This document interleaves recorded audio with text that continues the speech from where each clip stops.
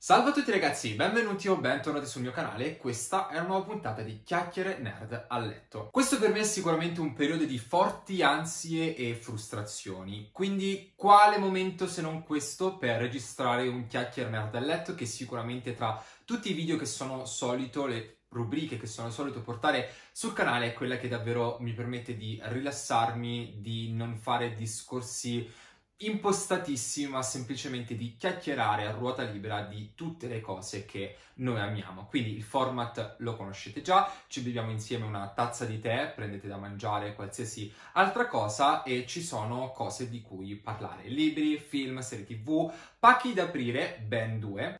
Ed eccoli qui e inizieremo come sempre proprio dagli unboxing. Procuratevi anche voi una bella tazza di tè che fa sempre bene, qualcosa da sgranocchiare come vi ho detto e cominciamo a questa chiacchiera dal letto. Proprio questa mattina mi sono arrivati questi due pacchi che adesso andiamo ad aprire insieme. Partiamo da questo che è più semplice da aprire e poi passiamo alla scatola sotto. Allora, andiamo a vedere che cosa c'è all'interno di questo pacco che credo sia da parte di Sperry Cuffer, ma potrei tranquillamente sbagliare, essere in errore. Ma andiamo a vedere insieme. Sì, Pacco da Sperry Cupfer, all'interno ci sono due nuove uscite, una più recente dell'altra. La prima, quella più recente, è My Policeman di Bennett Roberts. Questo è un libro che io desideravo ormai leggere da tantissimo tempo, era ancora inedito uh, in Italia, è stato annunciato qualche tempo fa uh, il film con uh, protagonista Harry Styles, che se non lo sapete è una delle mie più grandi icone. E quindi ci tenevo a leggerlo ovviamente proprio in previsione del film, ma era inedito ed ero sicuro che prima o poi sarebbe stato uh, pubblicato proprio in vista del film e la Spelling Capfer appunto se ne è uscita recentemente con questa uh, pubblicazione che sono molto contento di aver ricevuto, non vedo l'ora di leggerlo, sarà sicuramente una delle mie uh, prossime letture. So molto poco in realtà di My Policeman, è uno di quei libri che volevo leggere comunque quasi a scatola chiusa praticamente. La storia dovrebbe girare intorno a Patrick e Marion, due persone estremamente diverse ma che hanno in comune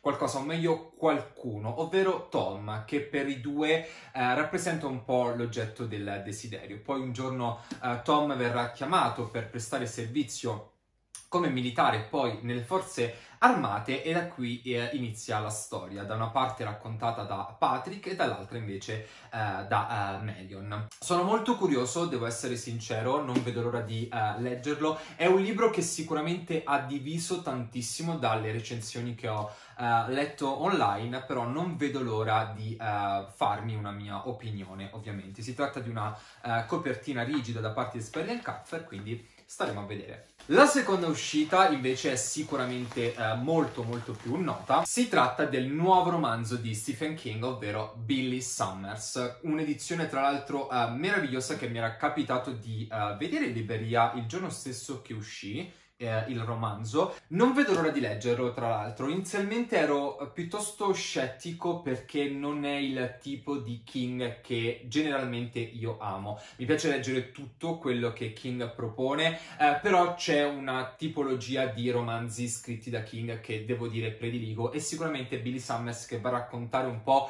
la psicologia dietro Billy Summers, appunto questo serial killer non è forse tra i miei preferiti, anche se l'argomento serial killer è ovviamente per me uh, fonte di estremo interesse, in senso positivo, se in senso positivo vogliamo uh, trovarlo. Comunque sta di fatto che anche questo sicuramente è un libro che ho visto dividere molto e anche in questo caso sono molto curioso di farmi una mia opinione come sempre con i romanzi, con i romanzi di Stephen King e anche questa sarà sicuramente una mia prossima uh, lettura visto che uh, sto cercando di tenere costantemente il passo anno dopo anno con tutte le uscite di Stephen King. Tra l'altro questa è la seconda, infatti all'inizio del 2021 è uscita uscito Later che uh, ho letto e ve ne ho parlato anche su, in un wrap up molto molto diverso da Billy Summers e forse più il tipo di romanzo di King che amo. Comunque molto curioso e ripeto edizione veramente molto molto bella mi piace tantissimo anche al tatto se qualcuno di voi l'ha già letto, sono molto curioso di sapere che cosa ne avete pensato, quindi fatemi sapere nei commenti. Detto questo, direi di passare al prossimo uh, pacco. Tra l'altro, nello scorso Chiacchiera Nerd a letto ho rotto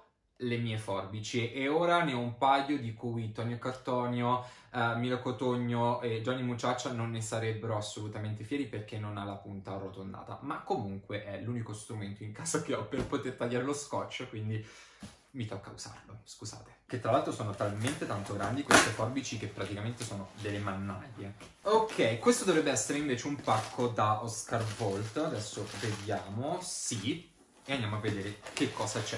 Se lo tengo tipo così si vede cosa c'è all'interno, volevo che fosse una sorpresa. Comunque, vabbè, andiamo a vedere. Allora, la prima cosa è Aristotele e Dante scoprono i segreti dell'universo titolo che per me è impensabile riuscire a dire senza leggerlo uh, in italiano. Anche questa è una nuova uh, pubblicazione da parte di Oscar Volt, è uscito proprio uh, questa settimana, si tratta tra l'altro di una ripubblicazione perché Aristotele Dante è stato già pubblicato in Italia con un'edizione davvero pessima e questa volta invece l'Oscar Volt ci porta ovviamente la copertina originale, si tratta di uno young adult con tematica LGBT+, un libro che io ho sempre voluto voluto leggere, ma che devo essere sincero, non ho mai avuto quell'interesse o quel trasporto da costringermi a leggerlo in inglese. Per cui ho sempre rimandato la lettura di Aristotele e Dante e finalmente l'Oscar Volt l'ha portato, l'ha riportato uh, in Italia con questa edizione che uh, fa parte dell'Oscar Fabula. Ovviamente mi piacerebbe leggerlo e sicuramente eh, lo leggerò. Non ha forse la precedenza anche tra le cose che vi farò vedere eh, tra poco, in particolare eh, una, però comunque sono molto contento e staremo a vedere poi quando lo leggerò cosa ne uscirà fuori. E poi abbiamo giusto appunto quella che sarà la mia prossima lettura. Della mia attuale lettura ne parleremo tra poco. E si tratta della mano sinistra del buio di Ursula Le Guin, che ritorna anche in questo caso uh, in libreria con una nuova traduzione, una nuova edizione che devo dire uh, dal vivo mi piace molto molto di più perché è molto semplice come potete vedere, ma uh, devo dire che um, dal vivo rende davvero tantissimo come copertina. Sta di fatto che in questo caso davvero molto più del solito Uh, il contenuto è la cosa che mi interessa davvero. Non ho mai letto niente della Le Gain e questo è un libro che ho in TBR davvero da sempre e finalmente posso leggerlo. Sono estremamente uh, curioso di approcciarmi a questo romanzo. Come vi ho detto sarà la mia prossima lettura, sono molto molto felice di averlo ricevuto. E ora andiamo a vedere l'ultimo libro all'interno di questo pacco, Mexican Gothic di uh, Silvia Moreno Garcia. Questo con una copertina uh, double face che devo dire sono entrambe bellissime, quindi non so poi quale eh, sceglierò. Questa è una novità, anche in questo caso, che attendevo tantissimo. In verità ho finito recentissimamente eh, Mexican Gothic e ne parleremo poi eh, prossimamente eh, nel wrap up. Devo dire che non è esattamente il libro che ah, avevo immaginato, è stata sicuramente una bella lettura ma ci sono delle cose che ammetto non mi hanno convinto al 100%. Ci sono diversi aspetti di questo libro che mi sfuggono, in modo particolare il Messico e il gotico di cui parlava il libro, perché all'interno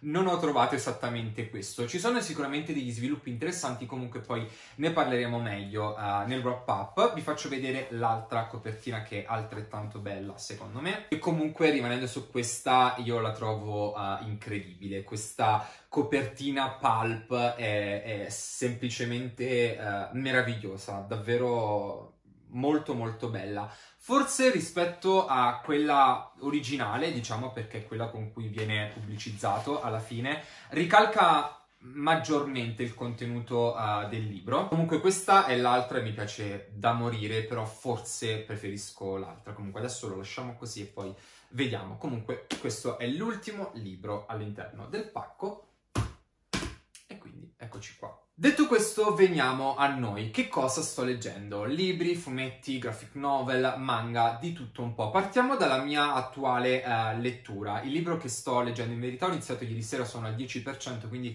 Posso dirvi uh, molto poco, però le prime sensazioni. Si tratta di All of Us Villains, che era un libro che uh, stavo aspettando tantissimo, per ora non è disponibile uh, in italiano, non so se sarà disponibile, è uscito recentissimamente uh, in America. Si tratta di uno young adult fantasy che stavo attendendo da ormai quasi un anno, credo, quando fu annunciato. Per farla breve si tratta di un gioco mortale stile Hunger Games, Battle Royale, ambientato in questo contesto più eh, fantasy, molto molto oscuro, fatto di incantesimi, sortilegi, eccetera, eccetera, in cui abbiamo queste sette famiglie che ogni generazione scelgono il loro campione per buttarlo in questa competizione e alla fine ne uscirà vincitore solamente uno, che avrà appunto il privilegio di ottenere il controllo di questa fonte chiamata High Magic, ovvero alta magia, una fonte di magia appunto inestimabile, potentissima che si credeva Um, scomparsa. Sostanzialmente va a raccontare questo. Ho letto molto poco, l'11%. Il titolo lascia immaginare appunto questa storia in cui noi leggeremo appunto di protagonisti che dovrebbero essere considerati un po' i nemici cattivi della situazione.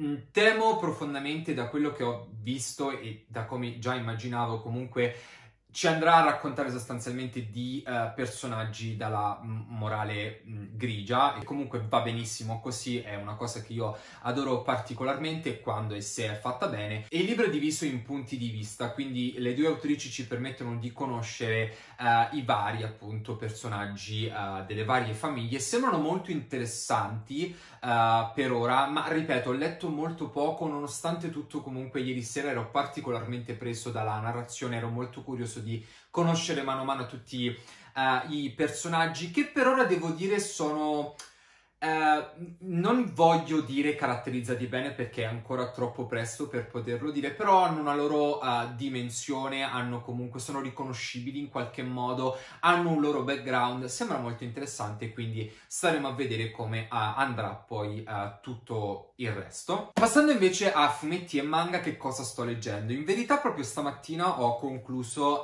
Inuyasha, questa è la copertina, Mirko, sì. Che finalmente la Star Comics ha ripubblicato con questa nuova eh, edizione. Io non ho letto, mai visto Inuyasha. Sono, diciamo appunto, sotto questo punto di vista vergine, ovvero non conosco assolutamente Inuyasha, l'ho sempre sentito dire perché si tratta di un cult, ovviamente eh, conosco appunto eh, personaggi eccetera eccetera, ma effettivamente non mi sono mai approcciato alla storia, quindi non posso dire di conoscere tutti gli sviluppi. Ho letto questo primo volume, stavo aspettando tantissimo questa eh, nuova edizione da parte di Star Comics che finalmente è uscita e mi è piaciuto da morire, davvero da morire. Già questo primo volume è molto molto uh, dinamico nella narrazione, ci va a presentare i nostri uh, personaggi uh, principali, tra cui ovviamente Inuyasha, e sono molto curioso di vedere che cosa succederà poi, perché ripeto, davvero non conosco assolutamente niente, quindi non fate spoiler di nessun tipo. Mi piace tra l'altro moltissimo l'edizione di Star Comics, ci sono pagine a colori o meglio due pagine a colori, tra virgolette. Purtroppo visto che il secondo volume uscirà a gennaio del 2022 e poi la pubblicazione dovrebbe tornare mensile, io non vedevo già l'ora di uh, leggere il secondo e invece mi toccherà aspettare uh, ancora un po'. Però uh, sono molto contento che effettivamente mi abbia preso così tanto e ripeto, molto curioso di vedere futuro il futuro sviluppo uh, della storia. Per quanto riguarda invece graphic novel, ho iniziato, ho letto davvero pochissimo, il secondo volume delle ragazze del Pillar di uh, Teresa Radice e Stefano Turconi, due tra i miei autori uh, preferiti per quanto riguarda graphic novel e uh, fumetti. Le ragazze del Pillar, di cui questo appunto, come vi dicevo, è il secondo volume pubblicato da uh, Bao Publishing, sono stati loro a mandarmi la copia di questo volume, quindi li ringrazio profondamente, è lo spin-off di quella che per me è mh, un capolavoro, ovvero Il Porto Proibito. Aspetta vado a prendere gli altri volumi così ve li mostro perché meritano lo spotlight. Ed eccoli qua. Questo è il Porto Proibito, ovvero l'opera madre, diciamo, un'opera che secondo me tutti dovrebbero leggere. Per me questa è un'opera che ha un valore eh, inestimabile, l'ho amata dalla prima all'ultima pagina, davvero è qualcosa che mi ha lasciato e che mi ha toccato uh, profondamente. Ci sono questi uh, personaggi, questa storia che viene raccontata e che gira intorno a loro che uh, tocca profondamente diverse corde, o almeno le mie l'ha toccate davvero tantissimo e quindi davvero ho amato ogni singola pagina di questa storia e ve la consiglio caldamente. E appunto dal Porto Proibito nasce poi Le ragazze del Pillar, questo è il primo volume. Si tratta di storie di questo bordello dove all'interno vivono e uh, lavorano appunto ragazze uh, molto diverse con storie molto diverse con caratteri molto diversi. E nel primo uh, in questo appunto conosciamo più da vicino il personaggio di Jun. Avevo amato terribilmente la sua storia e poi i disegni di Turconi sono secondo me incredibili, davvero incredibili. Le colorazioni, le ambientazioni sono assolutamente qualcosa di indimenticabile. In questo secondo volume, invece, uscito uh, recentissimamente, conosciamo uh, Tess e quindi viviamo più attentamente la sua uh, storia. Ho letto davvero molto poco, sono sicuro che comunque saprà regalare emozioni incredibili, come sempre anche in questo caso il disegno sensazionale, cioè riesce davvero ad essere eh, indimenticabile, i personaggi sono espressivi, la colorazione è bellissima, le atmosfere che creano è sono davvero un vortice di eh, emozioni e sensazioni indimenticabili. Vi consiglio caldamente tutte le opere di Radice Turconi però queste forse uh, un po' di più, in modo particolare appunto il Porto Proibito che per me è qualcosa di uh, indimenticabile e intoccabile, quindi consigliatissimo. Dalle varie letture passiamo a una sezione diversa di questo chiacchiere nerd a letto, ovvero concentriamoci su serie tv, film, cose che uh, sto vedendo che ho visto in questo ultimo periodo, ma prima di tutto, prima di questo, Così, completamente a caso, apriamo una parentesi. Avete visto l'annuncio del cast del live action di One Piece?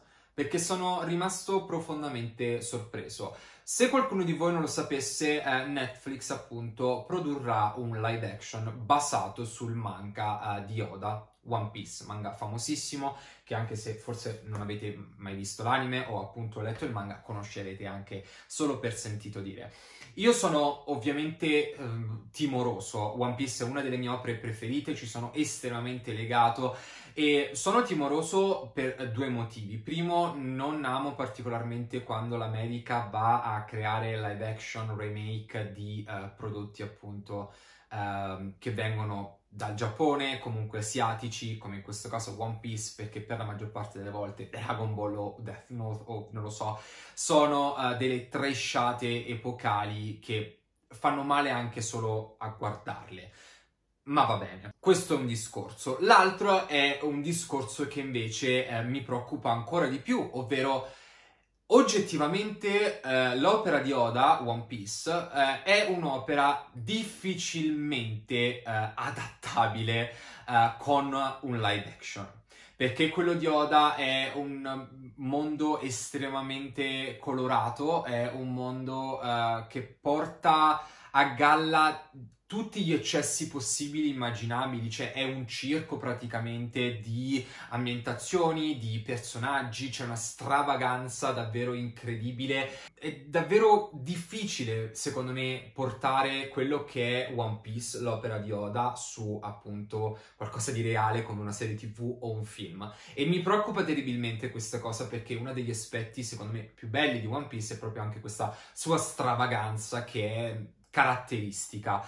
Eh, non so quanto um, possa funzionare in una serie TV live action, ma devo dire che sono rimasto estremamente sorpreso e uh, devo dire comunque soddisfatto dalla scelta del cast principale, ovvero hanno eh, annunciato il cast per i nostri cinque protagonisti eh, principali, ovvero Rufy, Zoro, Nami, Asop e Sanji.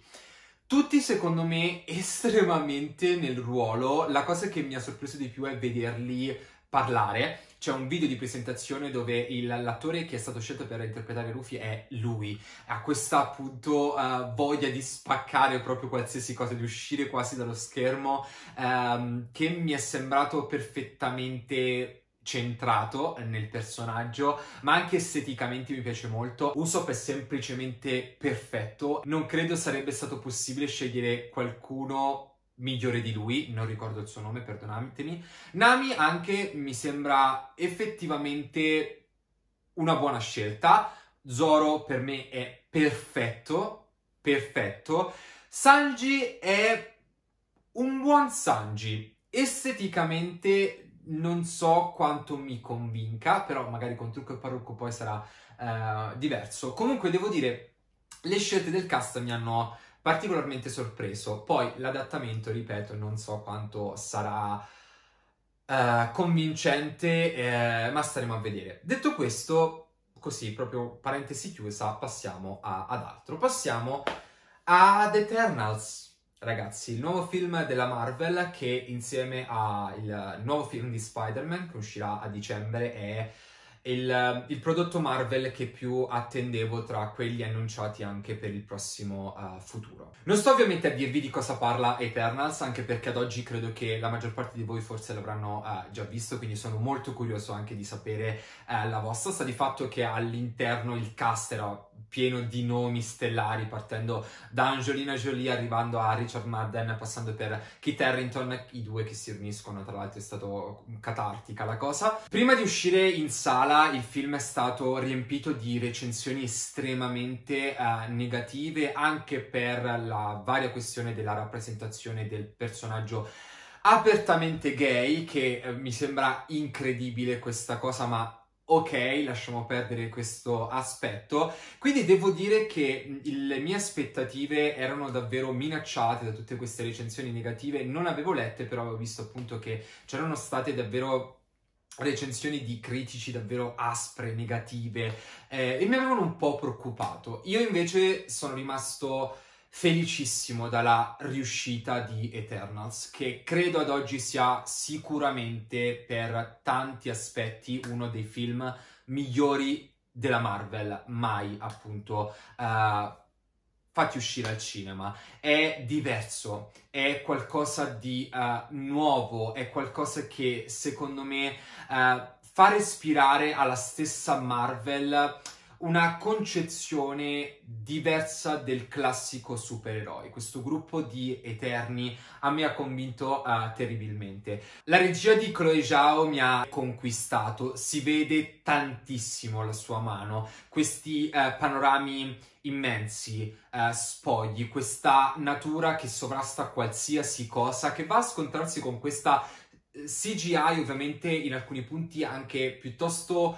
eh, pesante, quindi ovviamente è un connubio che potrebbe non funzionare, ma secondo me comunque sono riusciti a farla funzionare anche piuttosto bene ed è una nota um, che secondo me ecco, contraddistingue anche questo film. Comunque ci sono delle inquadrature secondo me uh, spettacolari. Le scene di battaglia secondo me sono alcune tra le più belle mai realizzate, sono delle coreografie quasi perfette, uh, non c'è mai qualcosa fuori posto, c'è una coesione perfetta di tutti uh, i combattimenti davvero bellissimi. Ovviamente dall'altra parte ci sono anche delle note negative, non è un film perfetto secondo me soprattutto nella sua prima parte, eh, ci sono dei momenti che vanno molto a rilento, ma sono giustificati dalla uh, presenza di tanti personaggi che non abbiamo mai conosciuto. Insomma, gestire un film con 10 protagonisti, tra virgolette, alcuni più, alcuni meno, però comunque abbiamo 10 nuovi personaggi da dover presentare al pubblico che non sono mai stati fatti vedere, ecco, è difficile dare uh, una dimensione a tutti questi personaggi rendendoli comunque credibili. Ovvio, alcuni personaggi sono meglio riusciti di altri, ma sono riconoscibili anche in questo caso, hanno delle caratteristiche, mi sono piaciuti praticamente tutti, alcuni più, alcuni meno, ma appunto sempre per lo stesso discorso ad alcuni personaggi viene data più attenzione rispetto uh, che ad altri, comunque però riescono ad emergere, c'è una buona coesione alla fine uh, di tutto quanto, la trama mi è piaciuta, le ripercussioni che questo film avrà sull'universo Marvel, Marvel sono estremamente uh, interessanti, le tematiche sicuramente sono la cosa che danno maggior valore a questo film. È un film che tra l'altro una pellicola che racconta di tante culture diverse, c'è tanta rappresentazione e questa è una cosa che ho apprezzato uh, sopra ogni cosa, davvero. Anche per la questione del personaggio apertamente gay secondo me riuscitissima perché non è il punto della questione del personaggio, non viene eh, basato tutto su questo, ma è una cosa naturale come dovrebbe essere. Secondo me è davvero perfetto sotto questo punto di vista, l'ho adorato, bellissimo. Non vedo l'ora di vedere ovviamente altro uh, su questi personaggi. E poi ci sono i due post credit, le due scene post credit soprattutto la prima, per cui eh, Mirko ha avuto quasi un coccolone. Per fortuna che mi l'ero spoilerato perché eh, appunto il giornalista che ha la proiezione a Roma ha creduto di dover dire al mondo eh, chi fosse presente in questa scena post-credit. Comunque, bellissimo, davvero adorato e sicuramente diventato uno dei miei film preferiti uh, della Marvel. Quelle due ore e mezza, vi giuro, avrei voluto durassero ancora 5. Volevo saperne semplicemente di più. Mi è piaciuto tantissimo. Per quanto riguarda invece serie TV, uh, ammetto sto vedendo praticamente niente se non The Walking Dead. È un mese che non vedo altro se non The Walking Dead. Ho lasciato tutto quanto indietro per The Walking Dead. In verità ho visto le prime due puntate della nuova stagione di Lock and Key, la seconda. Io la prima l'avevo particolarmente eh, apprezzata, ero molto curioso di vedere questa seconda stagione. Le prime due puntate, devo dire, non mi hanno conquistato al 100%, poi appunto sono stato preso da The Walking Dead e quindi ho continuato con quella scia e ho lasciato uh, Lock and Key che comunque riprenderò. Comunque, mh, mm, Lock and Key molto carino, vi consiglio particolarmente i fumetti di Joey Hill che sono estremamente diversi, molto più cattivi, più violenti rispetto alla serie TV che è, è stato trasformato più in un drama young adult, però molto carino e godibile, però i fumetti edito da Salda Press, se non sbaglio, tutti quanti consigliatissimi. The Walking Dead, ho una lunga storia con The Walking Dead in verità, io ho cominciato The Walking Dead con la messa in onda della seconda stagione, quindi parliamo del 2011, ho avuto alti e bassi, ho ripreso, lasciato e ripreso The Walking Dead per diverso tempo fino a lasciare la barca con l'inizio dell'ottava stagione. E non mi interessava semplicemente più. Vedevo questo minestrone riscaldato che semplicemente non mi conquistava e ho lasciato appunto andare tutto quanto, poi ho deciso che Mirko, non è niente da fare, no? Con ricomincio The Walking Dead e così ho fatto, sono ripartito dalla prima stagione e ad oggi uh, sono a metà dell'ottava. The Walking Dead secondo me è una serie tv per tanti aspetti uh, rivoluzionaria ha sicuramente i suoi alti e i suoi bassi. La terza stagione credo che ad oggi uh, sia uh, una delle migliori, forse il picco più alto uh, insieme a buona parte della quarta di The Walking Dead. Per me la nona, la decima e le puntate che sono uscite della, della undicesima sono ancora inedite, quindi non posso uh, dire niente. È effettivamente questa salsa che tende a ripetersi con l'andare avanti delle stagioni, però devo dire che questo rewatch mi sta convincendo ancora di più rispetto alla prima visione di uh, The Walking Dead e c'è da dire assolutamente una cosa di The Walking Dead, tutto quello che vogliamo, ma la cosa che riesce davvero a The Walking Dead è creare questi personaggi che sono milioni.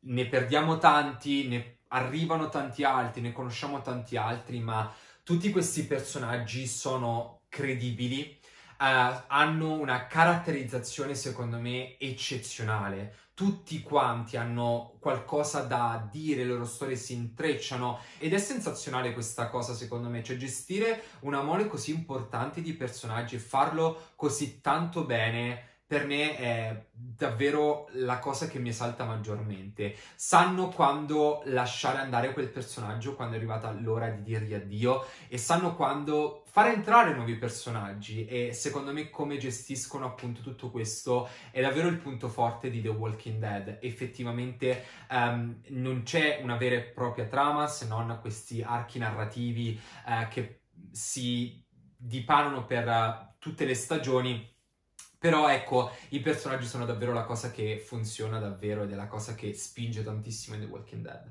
Quindi niente, staremo a vedere adesso come andrà. Ho sentito cose molto positive sulle uh, ultime stagioni, in particolare forse la nona mi dicevano, o la decima, non ricordo. Vabbè, comunque Uh, vedremo. Detto questo, io direi che ho parlato anche troppo. Sono molto curioso di sapere la tua su tutto questo. Quindi, che cosa stai leggendo in questo periodo? Hai visto Eternals? Sono molto curioso di sapere la tua opinione, assolutamente. Hai letto alcuni di questi libri, manga, fumetti che ti ho uh, mostrato, di cui abbiamo uh, parlato? Hai visto The Walking Dead? Che cosa ne hai pensato di Lock and Key 2? Non lo so, qualsiasi cosa. Che cosa ne pensi soprattutto del cast di One Piece. Questo mi interessa particolarmente. Quindi, detto questo, uh, spero che uh, questa nuova puntata del Chiacchiere Nerd a letto vi sia piaciuta e noi ci vediamo ad un prossimo video. Ciao a tutti ragazzi!